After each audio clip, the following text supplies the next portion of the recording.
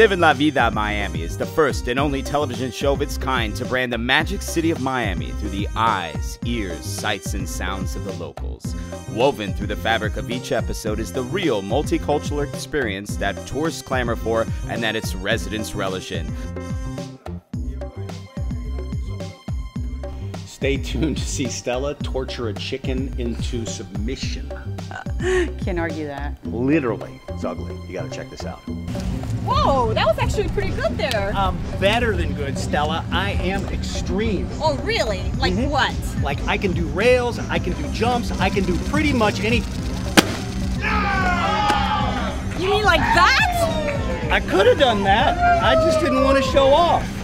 Livin' La Vida Miami is hosted by the stunning and charismatic Stella Vidal, the Colombian goddess, and her sarcastic and not so stunning sidekick, Stuart Warren Dansby, the food genius.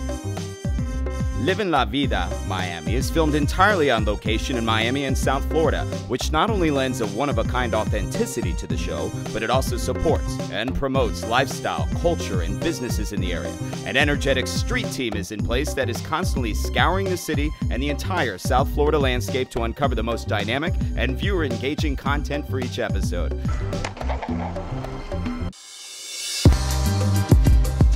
Miami.